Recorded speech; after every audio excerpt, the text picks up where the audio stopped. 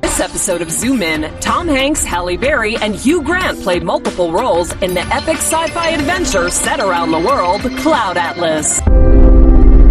Distributed by Warner Brothers Pictures. Production budget $100 million. It was such a profound experience. Directed by Lana Wachowski, Andy Wachowski, and Tom Tykwer.